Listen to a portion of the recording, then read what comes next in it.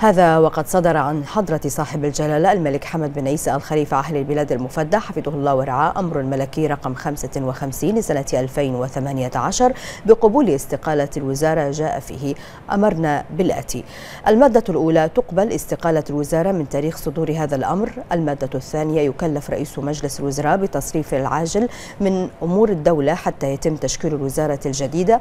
كما صدر عن حضرة صاحب الجلالة أهل البلاد المفدى حفظه الله ورعاه أمر الملكي رقم 56 لسنة 2018 بتعيين رئيس مجلس الوزراء.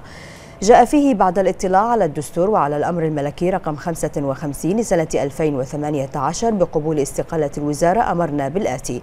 المادة الأولى يعين صاحب السمو الملكي الأمير خليفة بن سلمان الخليفة رئيسا لمجلس الوزراء ويكلف بترشيح أعضاء الوزارة الجديدة بما يتوافق مع نص المادة 46 من الدستور.